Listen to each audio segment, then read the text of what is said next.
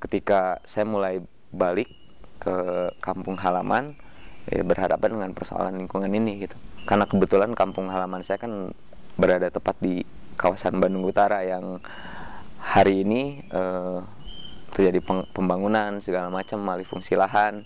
Nah dari mulai mulai di situlah dari semenjak tahun 2008 2009 saya mulai konsen di soal-soal lingkungan ini gitu performance saat itu ya buat saya itu semacam tindakan yang emang perlu dilakukan gitu. Artinya uh, yang saya kerasa banget tuh ketika terakhir yang zona merah yang saya bikin bikin aktivitas membungkus ekskavator di puncak Bukit Pasir Pogor tepat di depan rumah itu di kampung halaman saya sendiri. Di sana ada ada ada penggusuran lahan, ada pengalih fungsian lahan yang ternyata menyebabkan banjir untuk warga di warga sekitar gitu. Saya mengambil jalan tengah dengan membungkus si ekskavator itu dengan dengan uh, lakban merah gitu. Artinya itu semacam interupsi dan saya juga melakukannya itu secara sembunyi-sembunyi gitu. Artinya ilegal karena pembangunan atau pengurusan lahan itu juga ilegal, tidak ada izin sama sekali. Saya lebih memilih untuk menyatakan dengan visual itu gitu. Dengan tindakan itu yang artinya tidak tidak menimbulkan konflik yang berkelanjutan gitu. Tapi menjadi bahan pemikiran untuk si pengusahanya itu gitu. Jelas tindakan yang diperhitungkan sebelumnya gitu. Saya memperhitungkan waktu yang tepat saya memperhitungkan tindakan seperti apa yang akan dilakukan gitu. Dan dan tindakan yang saya lakukan ini tuh berdasarkan observasi sebelumnya gitu. Hal ini juga terjadi karena memang e, selain ketidaksadaran dari dari orang yang melakukan pembangunan itu juga dari yang saya lihat itu dari warganya sendiri gitu. Bagaimana mereka punya keyakinan terhadap lahannya itu gitu. Kan sebagian besar kenapa pengusaha itu mau melakukan pembangunan karena memang lahannya sudah dibeli gitu. Dan kenapa dijual begitu saja? Awalnya kan masyarakat kita itu kan apalagi di Bandung Utara itu sebagian besar masyarakat yang agraris gitu. Nah tiba-tiba dijual, artinya ada semacam keyakinan yang hilang terhadap lahannya itu gitu. Kalau misalkan oke okay lah sayur, buah atau padi dan sebagainya udah udah katakan persaingan di pasarnya udah udah sulit gitu. E, kenapa enggak gitu kita mengalih fungsikan lahannya itu bukan menjadi bentuk lapangan golf atau hotel tapi menjadi taman bunga atau taman kupu-kupu gitu. Yang saya kira itu lebih ramah lingkungan gitu. Buat saya sendiri ya seniman itu ya manusia yang bisa menyeimbangkan sesuatu yang harus bisa menyeimbangkan apa ya keadaan keadaan atau realitas sesungguhnya. Persoalan yang ada di dalam realitas itu dengan apa yang ada di dalam hati dan pikirannya gitu. Kayak gitu. Uh, artinya memang harus ada upaya untuk merubah merubah persoalan yang dia hadapi di realitas ini gitu. Lebih saya pahami proses kesenian ini ketika saya berhadapan dengan persoalan lingkungan yang akhirnya saya harus mempelajari tentang uh, masalah pendidikan masalah hubungan sosial masyarakat gitu.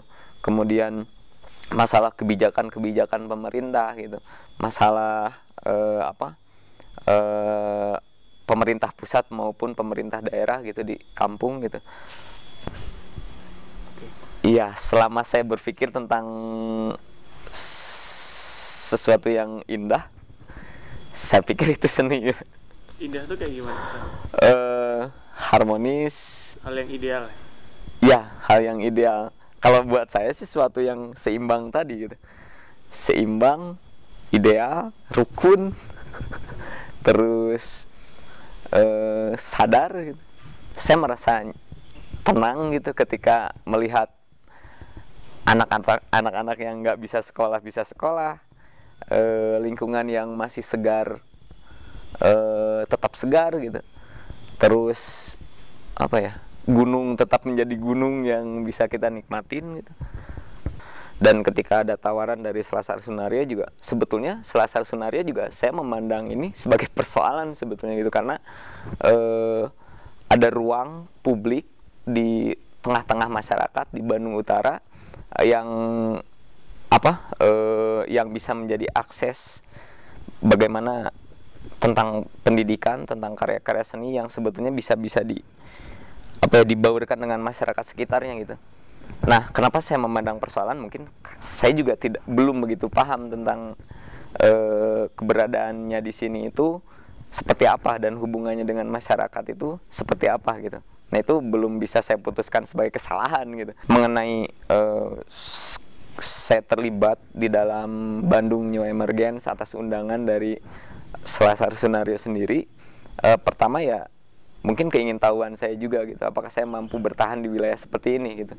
Uh, dan jika saya meyakini tentang proses kekaryaan saya itu sebagai seni kenapa tidak saya hadir di ruang-ruang seperti ini atau katakan galeri lah gitu. Ideologi juga harus bisa dikemas gitu. Maksudnya uh, karena saya juga belum pernah terlibat dengan hal semacam ini makanya saya ingin mencoba gitu. Bisa nggak gitu? Saya saya terlibat dalam hal semacam ini Artinya memang saya juga harus paham tentang sistem galeri. Saya harus paham dengan eh, apa? Dengan pasar ketika saya berkarya. Memang saya sendiri juga tidak bisa menentukan waktu, menentukan waktu kapan karya itu selesai gitu. Tapi ya ketika momentum yang tepat dan saya merasa itu selesai, ya saya tegaskan itu selesai gitu. Kayak gitu sih.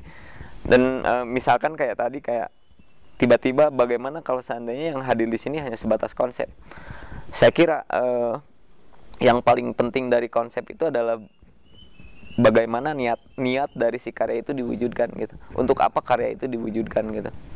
Dan mengenai karya instalasi kupu-kupu itu uh, saya juga sadar sebetulnya tidak tidak begitu cocok untuk dihadirkan di sini gitu. Karena karena memori yang saya bawa ketika menciptakan karya ini tuh di tengah-tengah masyarakat itu gitu. Di lahan-lahan yang sudah yang belum dialih fungsi tapi akan dialih fungsi gitu.